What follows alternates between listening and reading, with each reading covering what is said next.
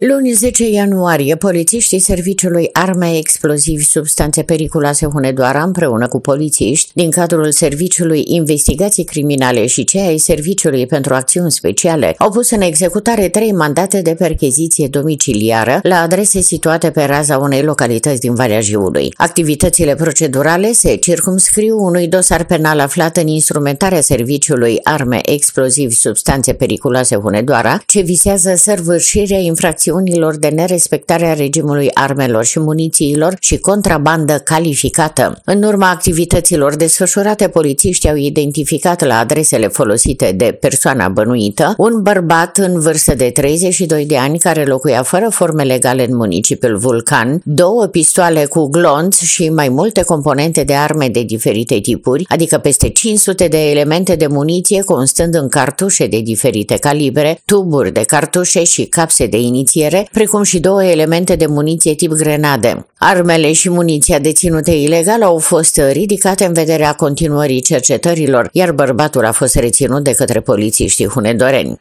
În urma cercetărilor, polițiștii au stabilit faptul că armele, componentele de arme și elementele de muniție găsite la percheziții ar fi fost introduse ilegal în țară în perioada octombrie-noiembrie 2021 de către bărbat fără a fi declarate organelor vamale și erau deținute fără drept de către acesta. Polițiștii continuă în acest caz cercetările în vederea stabilirii întregii activități infracționale a bărbatului, față de care a fost luată măsura preventivă a reținerii pentru 24 de ore. Acesta este prezentat în momentul de față procurorului procurorului în vederea luării măsurilor preventive. Acțiunea a beneficiat de sprijinul de specialitate al SIAS, Direcției Operațiuni Speciale din cadrul IGPR, precum și al Serviciului Român de Informații.